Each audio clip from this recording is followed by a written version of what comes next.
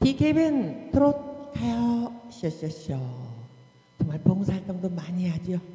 무대에서 행복을 느낀다는 기성훈 씨.